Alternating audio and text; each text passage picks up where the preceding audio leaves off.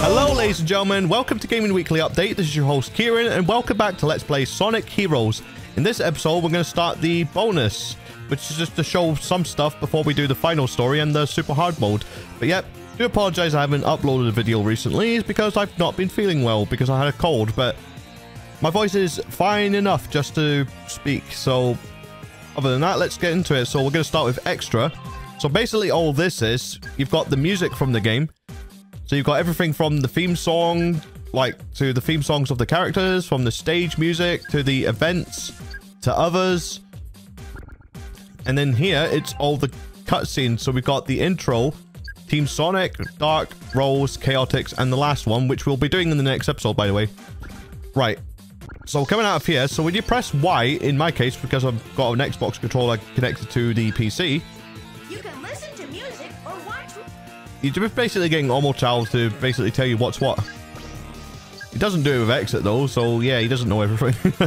yeah, it's not rocket science to know what these are. But yeah, let's go into one player mode. So we got story, which is what we did in the previous four episodes. We've done, we've got super hard, and I'll explain that what that in a second. We got challenge and we got tutorial. Tutorial is basically what starts you off the game and starts off Team Rose's story. So let's jump straight into it.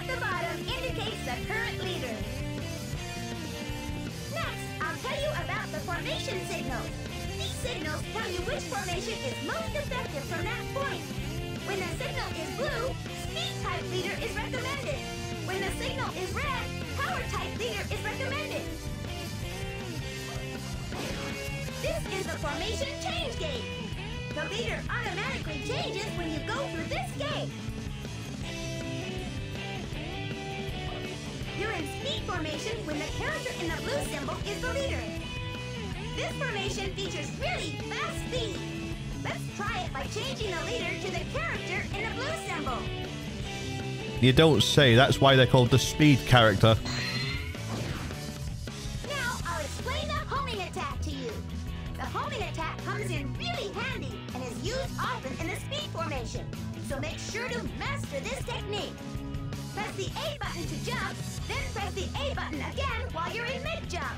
That's how to use the homing attack.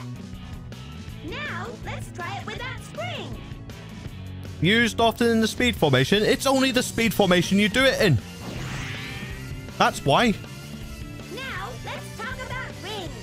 These things lined up here are what we call rings. It's important to always have at least one ring with you so you don't lose a life when you take on damage. So don't forget to pick up rings. Really? I thought they were donuts like Homer Simpson eats, but no, apparently they're rings.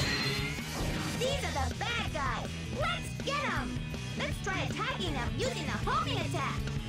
homing attack also automatically targets springs and item boxes too. Use this technique to jump to different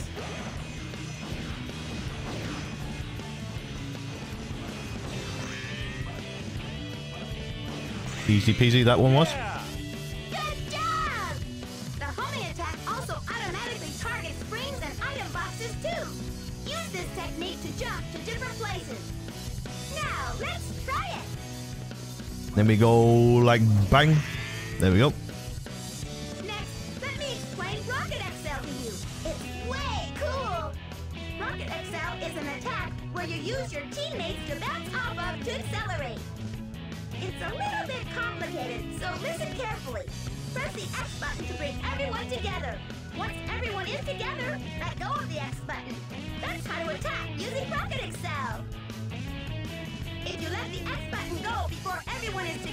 You'll do a completely different attack.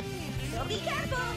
Now, let's try it. It's a complete lie because, like, the Rocket Accel is not cool at all. It's a really lame move.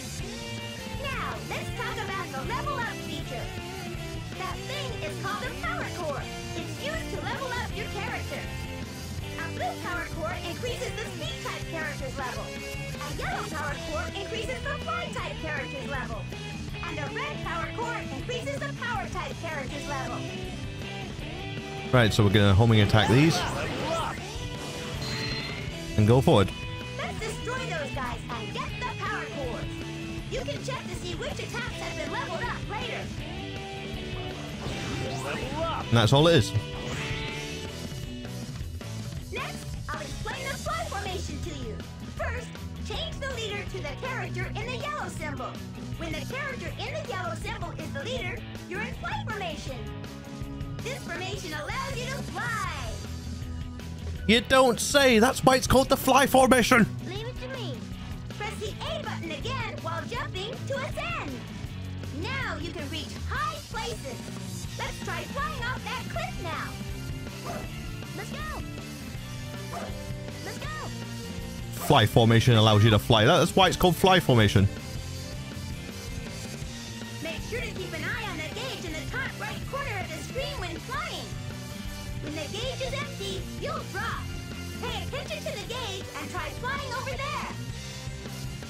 Right, so we we fly up here. Next, I'll explain Thundershoot to you. Try Thundershoot by pressing the X button while in flight formation. This lets you shoot your teammates at the enemies like balls. Thundershoot comes in handy when you want to shock your opponents or when you need to aim for high places. Right, and then we go boom. We'll get Knuckles to smash him. Because why not?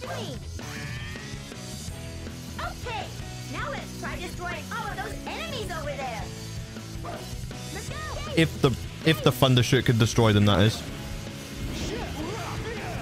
There we go. Leave it to me. And then we fly up here. Now there's a power formation. I'll now explain the last formation called the power formation. The power formation is useful to crush the enemies and rocks with powerful attacks. First, change the leader to the character in the red symbol. No, that you don't say. That's why they're called power character. Rocks and containers over there. Eh, Bang. Gonna go bang. There we go. Just smash everything up. Knuck smash. Wow, you're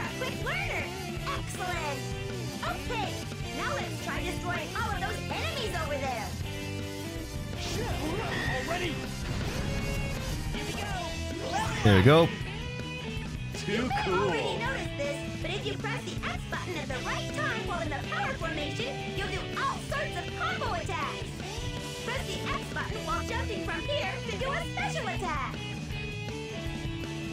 You want to try some more? Not really. But he's basically talking about this. Which is not really a special attack at all. It's just an attack.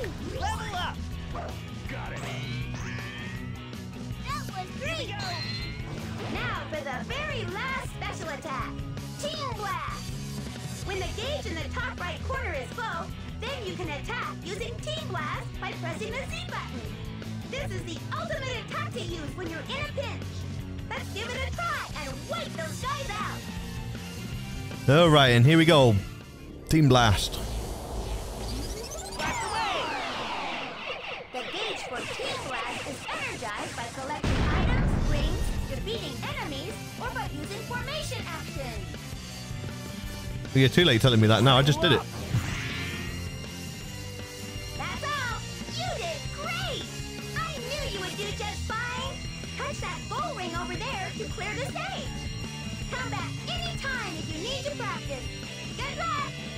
And that's it. Yes. That's all there is to the tutorial. It's basically like just to get the hang of how the mechanics and stuff work, but I didn't really do that because I already knew how it worked. But yep, that was basically the tutorial stage. Right, what I'm going to show you next is um in challenge mode, like as you can see, I've already got all the emblems and I've got all the emeralds and I've got all the the A ranks. Basically, like you get two different missions here. Right, For example, for Team Sonic, you've got the regular mission, and then when you go to this side, you've got what's known as a bonus mission. So for Team Sonic, their bonus missions is that you've got to beat the level at a certain time. For Team Dark, their bonus mission, you have to defeat a certain number of enemies. You have to defeat all the enemies in the level. That's basically all theirs is, so theirs is quite easy too. Team Rose, it's a ring collecting one, so you have to collect 200 rings to beat the stage. So theirs is, theirs is actually the easiest. Then again, they're the easiest team, so it's pretty dang simple. And for Team Chaotix, theirs is slightly different. Basically, what depending on the mission in the game, they basically double that amount. So, but for example, like, you know the final mission we did in Team Chaotix stage? Like when they... When they had to collect five keys, like in this stage? In this one, you collect 10. So it basically doubles the amount of what you're doing. So this one, you collect five keys. This one, you collect 10. So it's basically doubling the amount. Right, to get the Chaos Emeralds, though, um, this is where it gets quite tricky because there's the keys. It's only on the second stage of each zone. So like Seaside Hill, and then you go to Ocean Palace. Any stage that has the emerald symbol below it, you get it by getting the keys, which I'm going to show you right now in speed, well, in in fast motion, and then all the way to playing the stage. So I'll explain to the stage after the videos are done. So, and I'll show you how it's played. So um, it will be done with Team Roses because Team Roses levels are quite short and they're easy to get past. Like that's why I've been using Team Rose because they can easily get it and then catch it. But yep, I'm going to show you those videos right now about where the keys are and how to do the stages.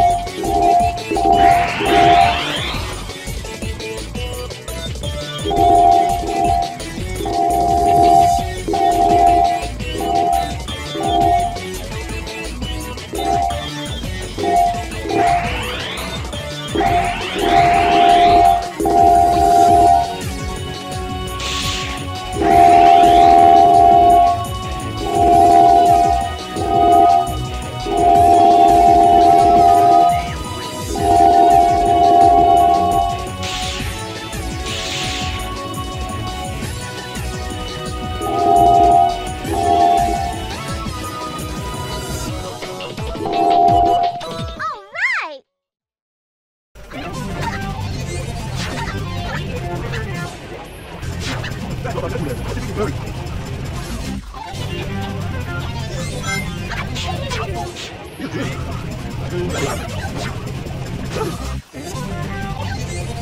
you.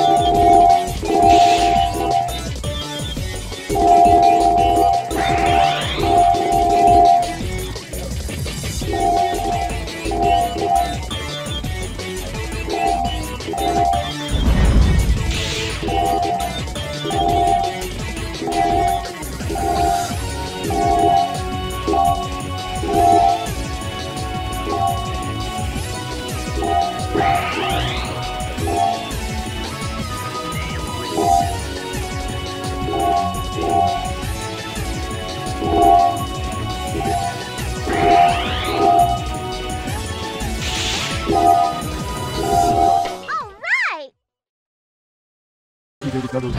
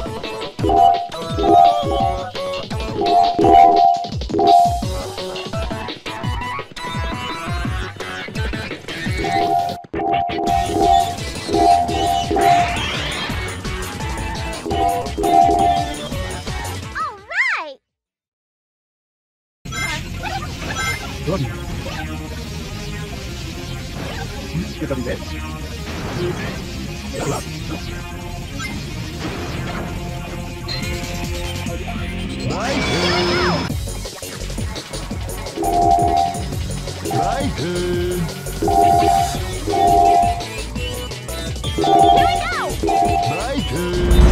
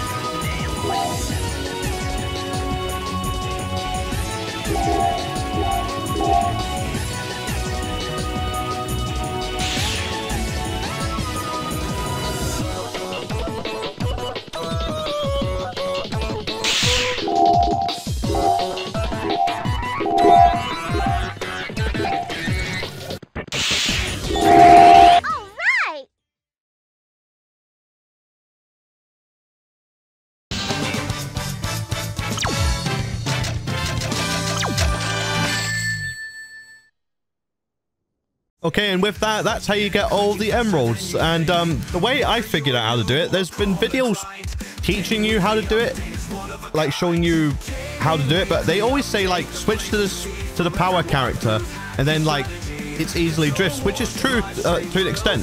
Like even though it's easier to drift, like they don't move very fast. So the way I figured out how to do it, as you saw what I've done, I always played as the speed character, so I tried to level up all the way up to level 3 first, which is when you collect those spheres. And the reds and the blue ones actually level up a lot bigger. So that's how I've done it. It's always the speed character. collect the balls to level up to level 3 first, and then just hold that action button to dash forward. Don't need to do anything else. You just gotta move forward, dodge out of the way of the bombs, keep going forward, hold B, keep collecting the balls, and then eventually you will get close enough to catch the emeralds. So that's basically all there is to this video. So yep, um, for the next episode, we will be playing the last story, which is the the last story, yeah. which is basically that. So, yep, I guess that's going to conclude this episode. So, thank you so much for watching. And as per usual, if you liked what you've seen, please like, comment, and subscribe. Remember to hit the bell if you want to see any more videos or any more live streams that me or Brad produce on this channel. I've been Kieran of Gaming Weekly Update, and we will see you in the next video or live stream. Thank you for watching, and goodbye. So and don't be late. This is Weekly Update. For gamers by gamers, we got your back. Your life, there's no turning back.